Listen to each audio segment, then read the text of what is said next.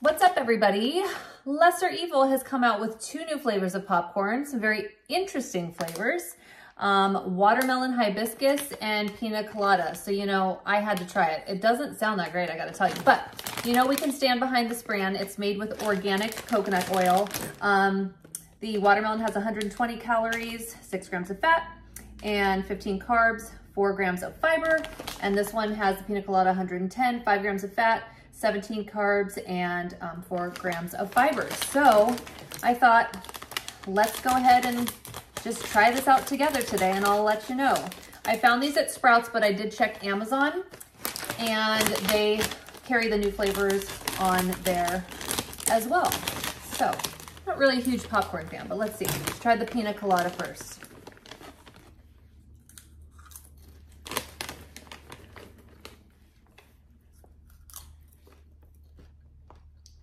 That's actually really good and refreshing. That's weird. It's sweet, but it's salty. So it's kind of like a kettle corn, but it has that pina colada flavor. Um, not super strong. So yeah, really light. That was really good. So this is the watermelon hibiscus. Let's check this one out.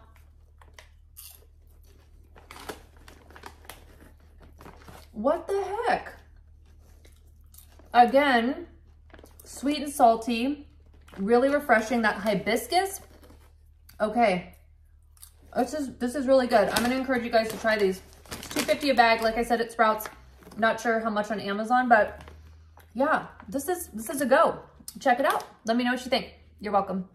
Okay, it's been five minutes and I'm still eating this watermelon flavor. This one is really, really good. You're welcome again.